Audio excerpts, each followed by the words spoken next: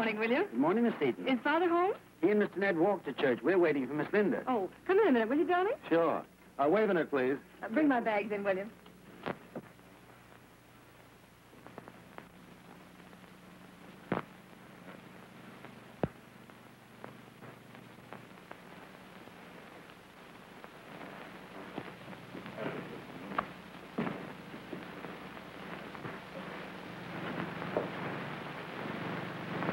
Morning, James. Good morning, Miss Julia.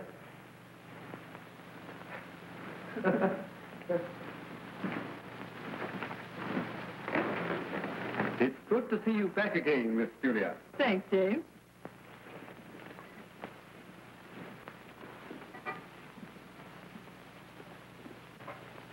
Oh, will you ask Miss Minna to step into the third floor sitting room, please? Uh, yes, miss. Go on. All aboard. What? Oh, yes.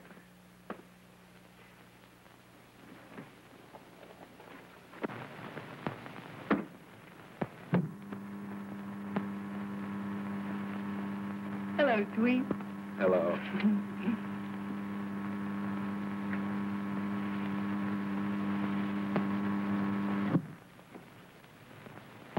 Oh, but Johnny, they'll think, think something's the matter with the elevator. well, let 'em. Johnny, Johnny, mind your manners. In elevators, anyway. Hey, but what is this place? Where are we? Where I live. Don't you like it? What?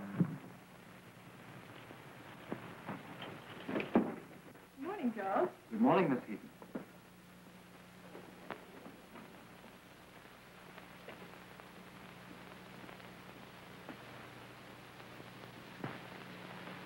Well, now where am I? I've just told you where I live. I didn't know people lived at railway stations. Oh you people. A very bad echo. Then listen, you stop criticizing this place or I'll call the bouncer. The bouncer? The bouncer. oh, what have we here?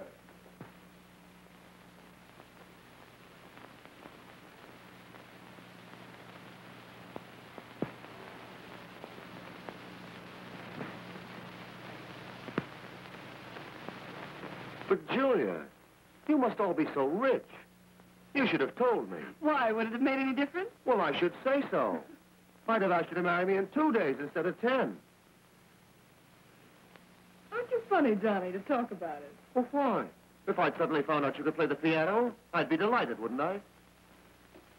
Is having money like knowing how to play the piano? Well, they're both very pleasant accomplishments in a girl. How'd you decide I'd do? I fell in love with you, silly. Same here. But you know awfully little about me. I am a man of the people. I started life with these two hands. So did the gentleman over the fireplace. Take heart from Grandfather Seton.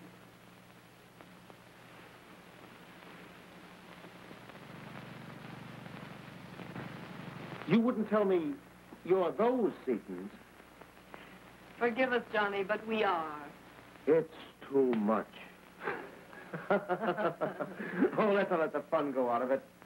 Why do we have to spill it so soon? Oh, but I have to tell Father. It would be different if Mother were alive. I could break it gently through her, I suppose. But as it is, I... Eventually, I know, but, but why the rush? But Johnny, I thought you wanted to be married as soon as possible. I do. Well, that's another place Father comes in.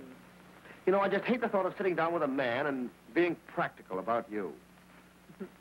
But, darling, we can't just go wandering up snowy mountains and through pine woods the rest of our lives, you know. we can do better than that. Come here. Now, kiss me. Several times, please.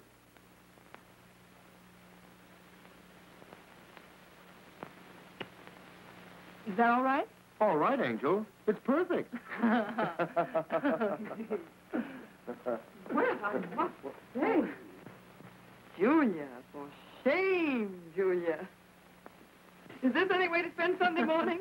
How are you, darling? Did you have a nice trip? Oh, best trip ever, dear. Who's your partner? Anyone I know? My, This is Mr. Case, my sister Linda. Well, how do you do? Well, thanks. And you? Couldn't be better. Johnny Case, his name is. I'm going to marry him. Step around here in the light, will you, Case? But I've never even seen you before. Neither had I until ten days ago at Placid. You're not a guy. no.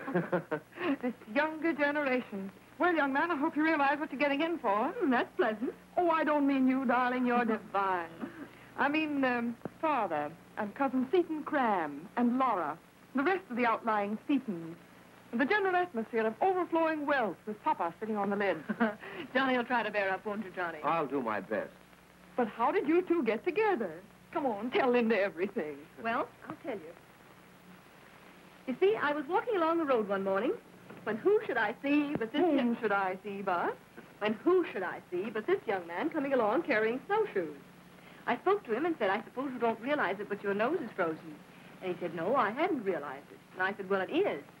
And he said, I don't suppose there's anything you personally can do about it. Fresh. and I picked up some snow and started rubbing his nose with it. Fancy that, a downright pickup. Uh, romance. Go on. So then you swept her off her snowshoes, huh? Yes. It was touch and go with us. I like this man. Does Father know about it yet? No. Oh, he'll never forgive you if you don't tell him now. Oh, we're going to elope. No, we're not. Now, that's where you come in. When do you think I ought to break the news? I know. Know what? When to tell him. Come on. Oh, We're going to church. To church? What for? Oh, don't worry, not you. Oh. Come on. but I have to change, dear. Oh, we have time. Well, Father Never step on it. We can make it. You better take the elevator or you'll get lost. and don't forget to be here for luncheon. A case never forgets luncheon. And remember, you haven't been here this morning. All right, I'll run along home. See you later, Case. Right. So you'll have to hurry. Oh, I know.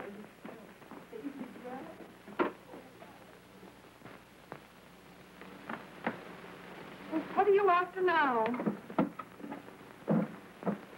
Are you sure Father will like Johnny? Well, he will if he has any sense. Are you certain church is the place to tell him? Oh, of course, he can't say anything in church. I suppose He'll you're have right. to cool off before he starts objecting. That's the main thing. I suppose you're right, dear. You always are. Well, I think I am about this. Come on now. Just take Sister Linda's hand and let's, let's get started.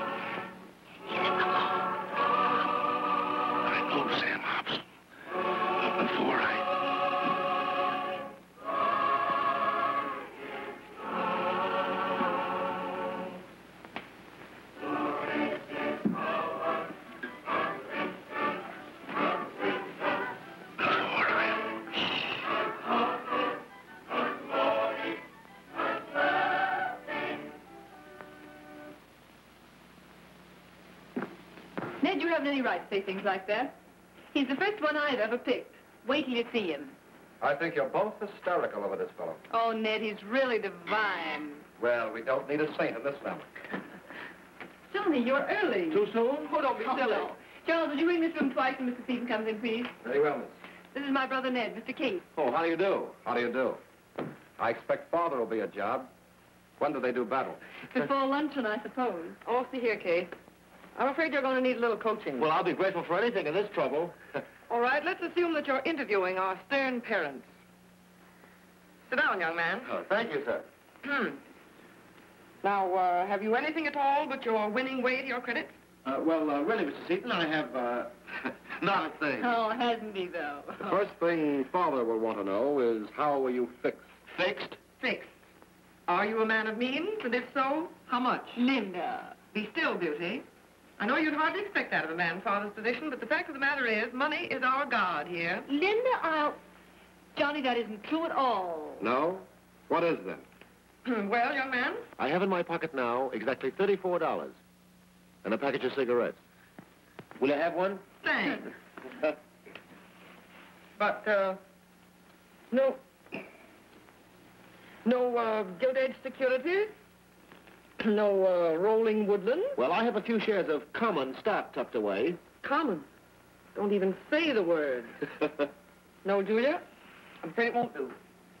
He's a comely boy, but just another of the vast army of clockwatchers.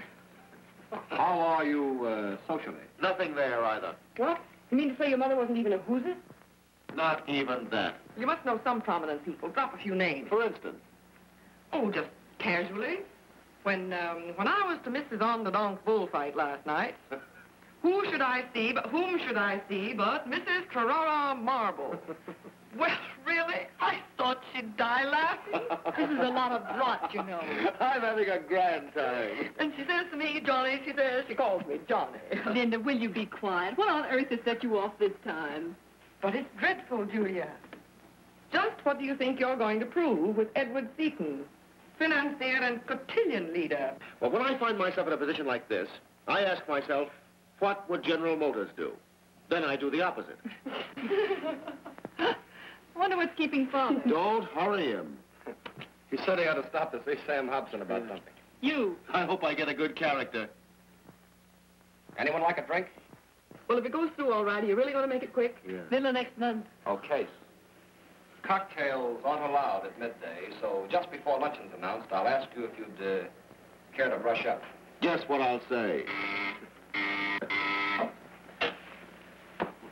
It's Father. Don't weaken. Johnny, you going up to Ned's room. You haven't arrived yet. Well, listen, this is getting complicated. When do I arrive? One o'clock. It's, uh, uh, quarter to now. Go on, do as you're told. Yeah, but listen, Take it, he- Ned. listen, you saucy... Go on, Case. Don't expect simplicity here. Just think of all our Fifth Avenue frontage. Go on now. Step on it, Ned.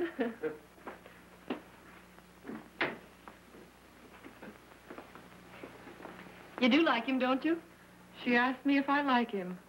My dear girl, do you realize that life walked into this house this morning? Oh, marry him quick before father starts the old cry you're being married for your money. That's always flattering, isn't it? Well, stand your ground, Julia. If you don't know your own mind by now, you haven't got a mind. Now, you name your date and stick to it, I'm telling you. I want Father to see that Johnny has the self-same qualities that Grandfather had. And there's no reason why he shouldn't arrive just where Grandfather did. It'll be awful to leave you. I don't know just what I'll do when you go. I'll have to do something. Get out, quit on it, change somehow, or I'll go mad. I could curl up and die right now. Why, darling.